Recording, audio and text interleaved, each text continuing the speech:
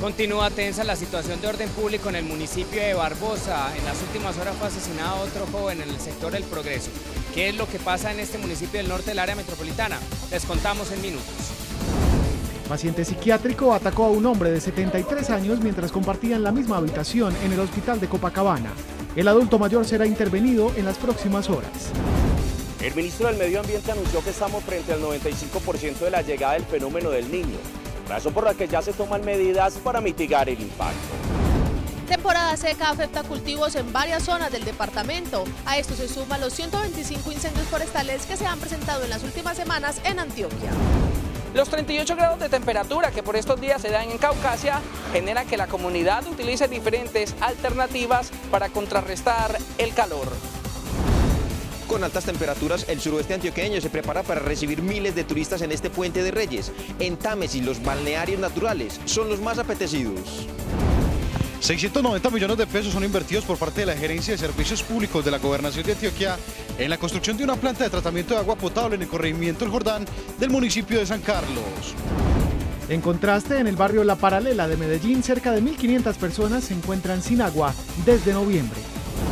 Policía especializada en transporte masivo será la encargada en brindar acompañamiento en las estaciones del metro de Medellín.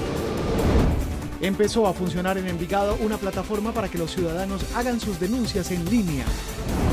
Congestiones le cuestan a Medellín 500 mil millones de pesos anuales, revela Fenalco.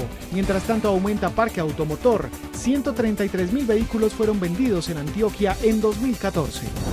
Bancolombia presentó fallas en algunos cajeros y en el canal virtual. Los problemas ya fueron superados. La Superintendencia de Sociedades decidió intervenir cuatro empresas pertenecientes a la familia Alvear, propietaria de la Fundación Universitaria San Martín, luego que encontrara fallas administrativas en estas organizaciones. A pesar de las sanciones anunciadas, la aplicación Uber promociona sus servicios de transporte al aeropuerto y otros puntos del Oriente en su página web. Atención viajeros, desde mayo algunos países exigirán el nuevo pasaporte.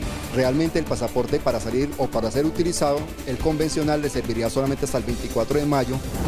Caricaturista antioqueño se solidariza con sus colegas en Francia tras la tragedia.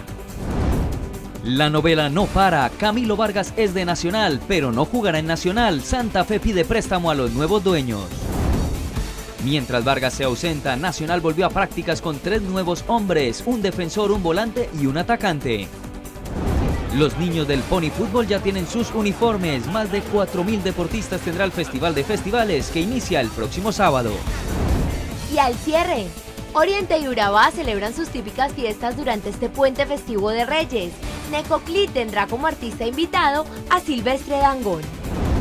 Con la ola de calor aumentan las visitas a los parques recreativos un plan para vacacionar en Antioquia.